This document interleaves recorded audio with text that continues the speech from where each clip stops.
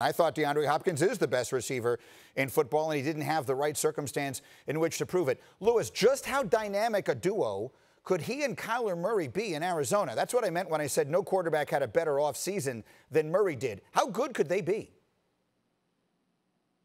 Well, they can be fantastic, Greeny. Look, I think what he gives them now is he gives them a true, legit outside outside lane XZ wide receiver, the kind of guy who, in one-on-one coverage, outside the numbers, will be able to win down the field and be able to come up with those tough, contested, game-changing type plays over and over again. And that's really what they need. That's what Kyler needed. Look, Larry Fitzgerald is a surefire Hall of Famer, one of the greatest wide receivers ever to play the game, but he really is an inside player now that doesn't have that vertical stretch on the out on the outside.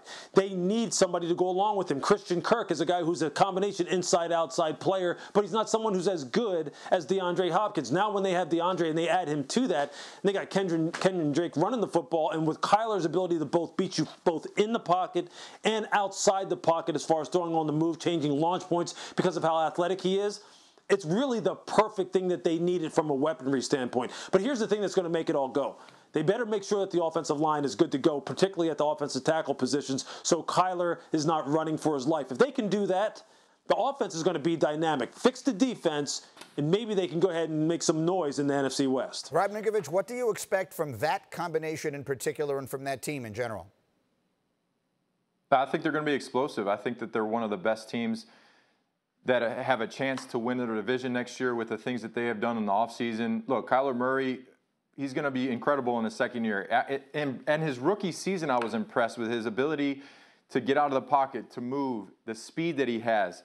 I would say this, though the one thing that Hopkins is going to have to realize is when he's playing with a quarterback that can move like this, if you play with a Drew Brees or a Matt Ryan or a Tom Brady, you run your route and you know, hey, I'm getting the ball in this play because this is exactly specifically set up for me to get the football. When you're playing with a, a quarterback that can scramble, get out of the pocket, there might be broken plays. There might be a play where you're going to run the route and look, it's not there. You got a block. So that is the only difference that he's going to have to realize moving with a quarterback that can move around, get out of the pocket, scramble, and throw. It's not going to be as, as simple as Drew Brees. I'm running my route. This is where I'm at. Michael Thomas, he's a great route runner. Um, he's had a lot of production because he knows every time he's running a route, the ball's coming.